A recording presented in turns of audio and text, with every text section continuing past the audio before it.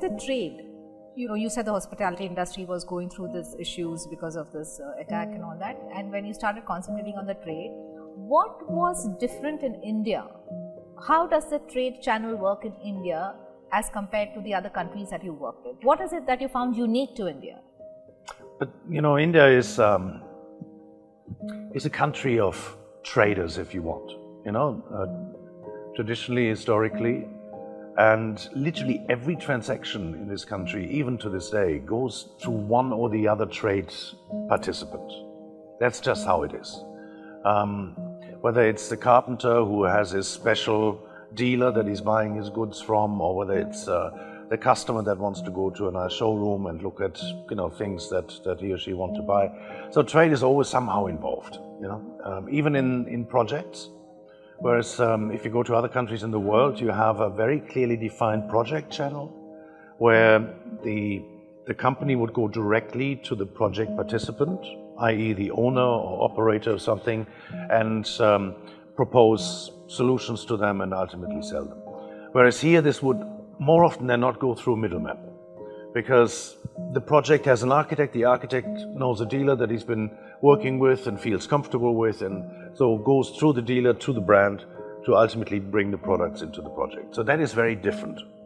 So when we um, talk about how much business we have in the project market here, it may appear small uh, because we are not counting the trade participation, right? Because that counts into trade. True. You know, but when I when I look at what kind of trade that was, then I say, well, that was actually a project, and so it counts, you know, towards the project business. Yeah. So that's um, that's a very unique thing in India, and um, you don't really find that anywhere else. So when you said that uh, the trade gets the project business only because of the comfort factor that the architect or anybody, any other decision maker would have with the trader. Yes. So you were wondering whether to put it into the business of trade or projects, right? Yeah. So I mean, at the beginning, we really didn't care. It was business. Yeah. Because So right on, you know, that was good, yes. and um, so no issues there. But um, uh, you know, as you get bigger, people are looking for classifications. You know, what does it belong to? Is it this? Is it that? So that that's we, the time you realize. so they can put us into boxes, right? so, um, and that's what we always try to explain to to head office in Germany and say, well, project really is much bigger because a lot of it goes through trade, and and explain that.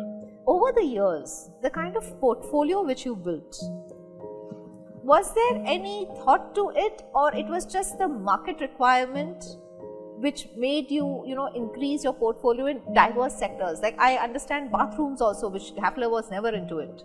I think the last five, six, seven years ago, you came into bathrooms. So this this thought of increasing the portfolio comes from where Does the market drive it, or what? Well, came, I think it came from that realization once we started with uh, kitchens, um, where we started really only with a couple of products, you know, drawers and, and lift-up fittings and hinges and so on, that we really wanted to build a complete portfolio around that.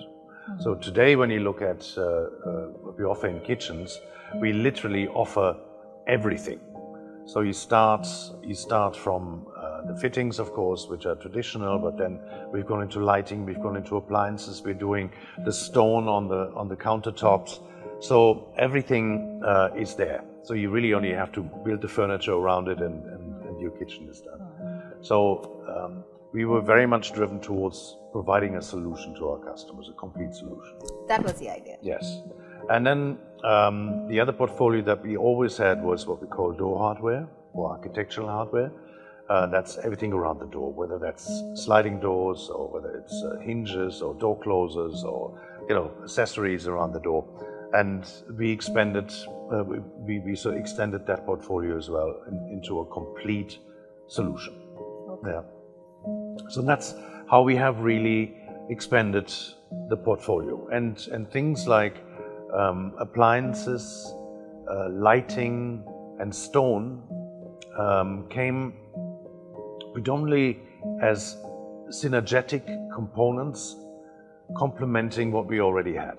You know, Okay. So, so you know, when we started with stone, um, our management in Germany said, "Have you now lost, you know, lost it completely? We're a fittings company. What are you doing with stone?" And we said, "Yes, but we also um, a kitchen solutions company, and stone is the worktop. And there is a tremendous opportunity for us to bring a new innovative product to the market that will really change the way people look at it. So we brought stone. It is now one of our fastest growing and most successful uh, categories that we have in, in, our, in our overall uh, assortment. Um, then we brought appliances. Now, appliances, again, company said, what are you doing now, appliances? And we said, yes, kitchen. You know, so that is missing. We, we're selling customers a kitchen solution and they say, do you not have appliances? I want to buy a hob or a chimney or an oven. And um, so we looked at the market and so ooh, there is a big opportunity there because you know there is just companies at the bottom here that are selling cheap and cheerful things, and then you have companies at the top selling luxury things for a lot of money, True. and then guess what? There's nothing in the middle, True. and that's that's the place that we wanted to occupy, and we did. Oh. So that sweet spot in between where we are supplying very high quality but at a um, affordable price. So we call it affordable premium. Right. And that's basically how the Hafele appliances range was built. Right. Yeah? And, And this was how many years ago? so that started really um, in 2014 properly, but we were experimenting prior to that, um, sort of 2012, 13 uh, already. And now it's like set. Nothing is ever set, you know. I mean, if you're set, you're dead.